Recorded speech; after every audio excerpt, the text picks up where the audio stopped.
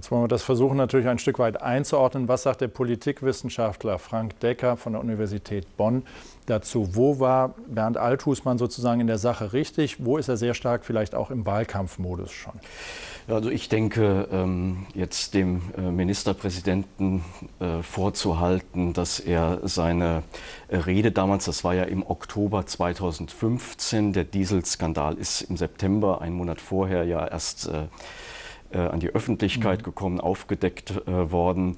Äh, ihm das äh, vorzuhalten, ist etwas unglaubwürdig, äh, denn äh, seinerzeit ist der Landtag schon informiert worden von der Regierung darüber und es hat keine Einwände gegeben der Opposition. Also das ist natürlich ganz klar jetzt auch dem Wahlkampf geschuldet. Unabhängig davon wäre es natürlich schon auch im Wahlkampf interessant, jetzt zu hören, ob Union und FDP äh, was äh, die Repräsentanz des Landes im Unternehmen VW angeht, ob sie da andere Vorstellungen haben. Also man könnte ja zum Beispiel auch darüber diskutieren, ob dieses Aufsichtsratsmandat äh, des Landes unbedingt vom Ministerpräsidenten und vom Wirtschaftsminister äh, wahrgenommen werden muss. Aber da hat man bisher nicht äh, gehört, dass es da andere Positionen gibt. Okay, aber ich sage mal, das ist jetzt ja bildhaft gesprochen, einen König zu fragen, ob er drei Zacken aus seiner Krone rausbrechen will. Also so viel Macht gibt doch freiwillig kein Ministerpräsident ab. Also ich glaube Die nicht, Energie dass, müsste doch von woanders. Ja, ja, ich glaube nicht, dass das zur äh, Disposition steht. Dieses VW-Gesetz äh, ist ja auch überprüft worden vom Europäischen Gerichtshof. Mhm. Es ist auch bestätigt mhm. worden.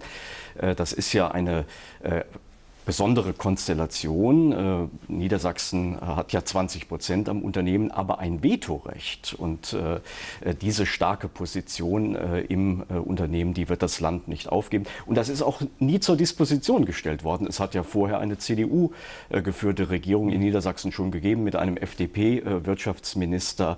Äh, aber es wäre vielleicht ganz grundsätzlich auch wichtig, darüber nachzudenken und auch einen politischen Streit zu haben. Okay, also das wird wahrscheinlich egal, wie die die neue Regierung aussieht, in Fahrt kommen. Die andere spannende Geschichte finde ich hier der Fall Elke Dresden. Da ist eine Politikerin, aus welchem Grund auch immer, sie sagt von sich aus, na, ich hatte nicht richtig wirklich eine Zukunft in dieser äh, Partei gesehen bei den Grünen. Also habe ich mit der CDU gesprochen und die sind interessiert. Ist das, ist das okay? Ja, sie hat ja auf der einen Seite gesprochen von einem Entfremdungsprozess zwischen ihr und ihrer eigenen Partei, äh, den Grünen. Das äh, kommt vor und äh, dann ist es ja auch ganz konsequent, dass man dann die Parteimitgliedschaft zurückgibt.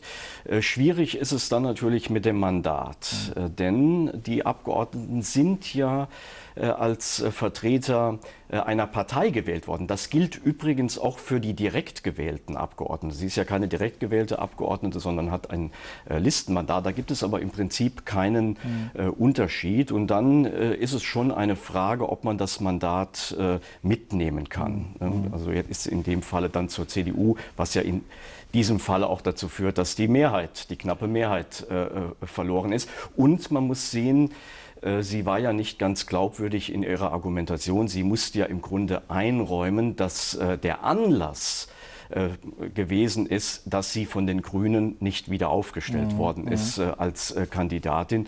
Nur das ist in der Parteiendemokratie eben auch in den Parteien so. Da gibt es Mehrheiten und unterliegende Minderheiten. Und die Minderheiten müssen aber dann natürlich das auch mittragen, äh, was die Mehrheit äh, beschließt. Ansonsten wäre das Regieren, wenn jeder nach Lust und Laune von seinem freien Mandat Gebrauch macht, wäre das Regieren in einer Parteiendemokratie nicht möglich. Frank Decker, besten Dank für diesen Augenblick. Spannende Sommerpause. Hätten wir alle nicht gedacht.